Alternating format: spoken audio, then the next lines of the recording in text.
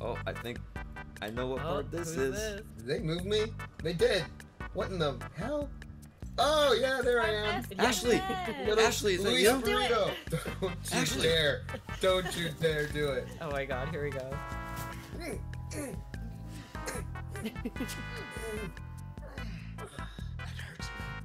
It hurt you.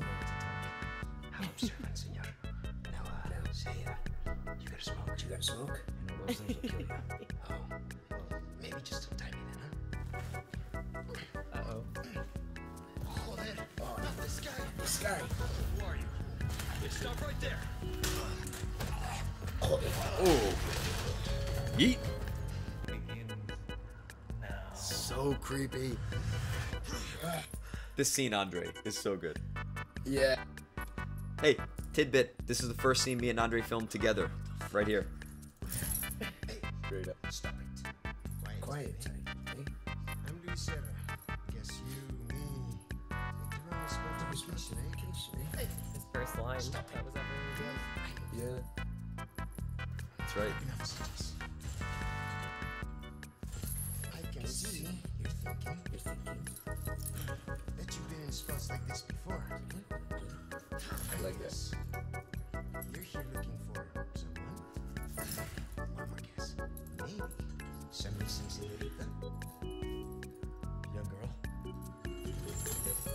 This was so fun to film, man. Oh, dude. Great. For you, for me, it was awkward as hell. My HMC was getting in your face. I had to like, you know, move out of the way, and it felt so unnatural. And I had to tiptoe. no, it was fun though. I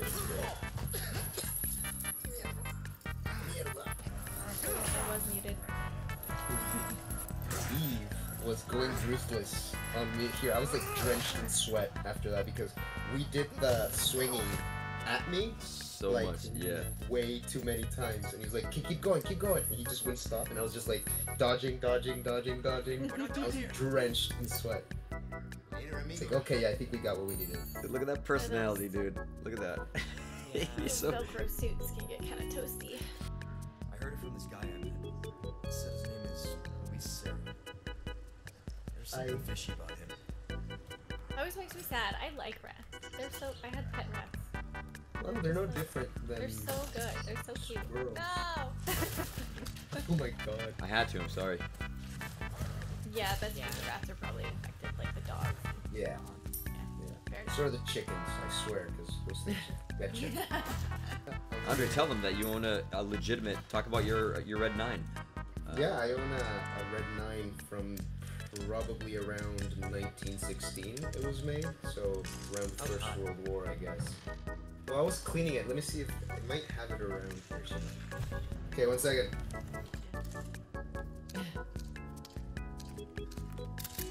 For what? Actually, this is something cool about it. You got it there? Dude, that is Yeah, there's the red nine. It's so polished. Oh my god. that is sick, dude. It's an antique for sure. So. How much is that worth?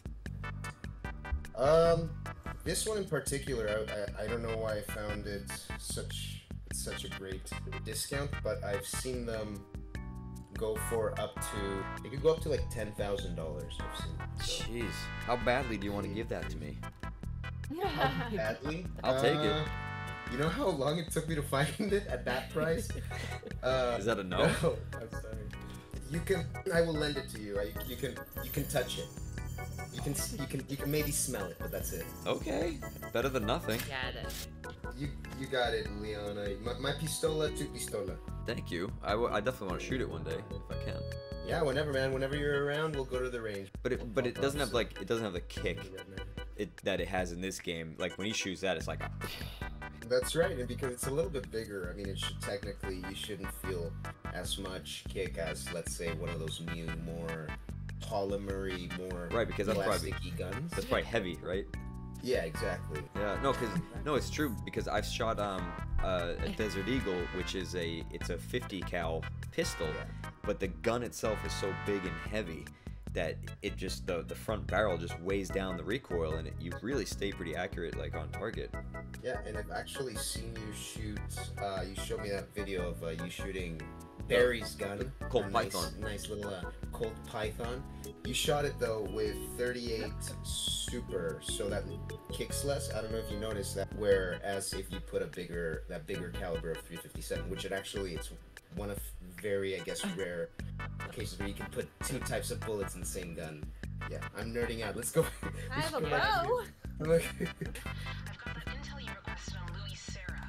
It seems he used Oh. to be Ooh. left him in that bag to rot. Yeah, he has it in for Umbrella. He's a little, he's a little butthurt about Umbrella. Here it is right here. Andre, why don't you read this? And you uh, read it in Andre voice. Can you can you read it? Okay. I need to get super close because I, Yeah. Oh, I'll do it. Uh, I'll I'll do it. Luis Please don't make me do this. Luis Serra Navarro. Interesting. Age 28, male. Serra's name first appears publicly in a university student registry. No prior records have been discovered, including his birth certificate. Ooh. After graduating why. from university, he was employed by Umbrella's research division, where he became a rising star who won favor among his peers. He was involved in the developmental the development of several common over-the-counter drugs, all of which were discontinued before ever reaching the market. See the attached list for details. A few years later, Serra resigned from Umbrella and could not be located. After the Raccoon City incident, he's connected. I like it. Efforts were made by law enforcement and the government to track down anyone with links to Umbrella, but despite conducting an extensive search, they were unable to find him. Ooh. Considering how well he evaded them, we are almost certain Serra went to great lengths to disappear. In Hunnigan's handwriting, common over the counter drugs. Do you seriously think that Umbrella would let one of their best work on some antacid or beauty cream? She's onto him. I wonder what he was working on. Who, who knows? Who knows?